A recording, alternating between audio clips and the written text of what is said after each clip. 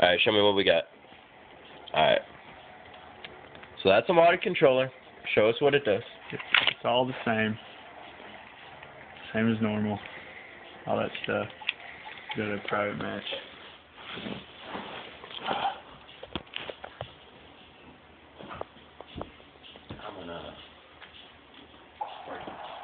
Alright, now show us without it. Without it, Is this the FAMAS? no, this is the FAL. This is me without it. Watch my fingers. Alright. It's as fast as I can go. Now, let me reload. This is me using this button. Ready? Completely automatic. Alright, show us with the Barrett.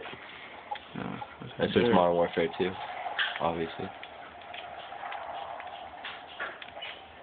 Can't really. Let's see here. Trying to kill yourself there? There we go.